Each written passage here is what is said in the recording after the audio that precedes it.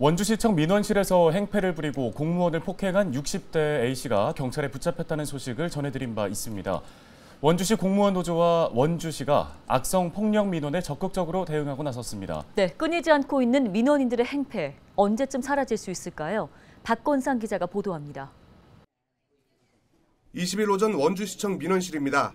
민원 서류를 떼기 위한 시민들이 순서를 기다리고 있습니다. 평화롭기만 했던 모습과는 달리 지난 17일과 18일 65살 A씨는 출근 시간 전부터 민원실을 찾아와 행패를 부렸습니다. 교도소 수감 중 받지 못한 재난지원금을 달라며 행패를 부렸는데 이 과정에서 공무원 3명이 직접 폭행을 당했거나 A씨가 던진 기물에 맞기도 했습니다.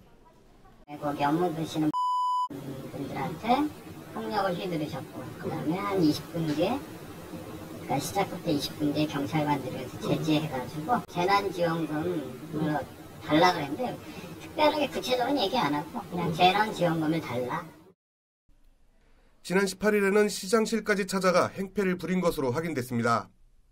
당시 A씨는 1층에 있는 시장실로 달려가 물병을 던지고 주먹을 휘두르는 등 막무가내로 폭력을 행사한 것으로 전해졌습니다.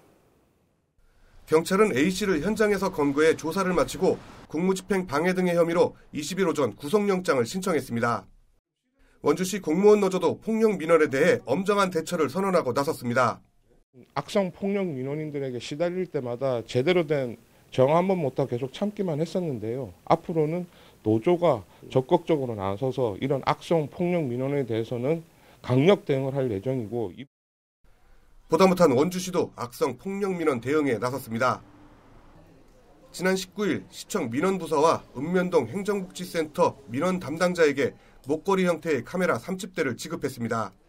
녹화 사실을 사전에 공지해 개인정보 침해 없이 활용한다는 계획입니다.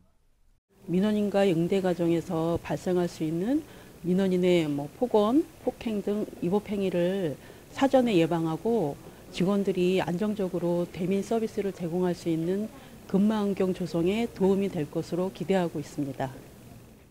끊이지 않는 악성 민원인들의 폭력 사태, 제도적 보완이 시급하다는 지적입니다. 헬로티비 뉴스 박건상입니다.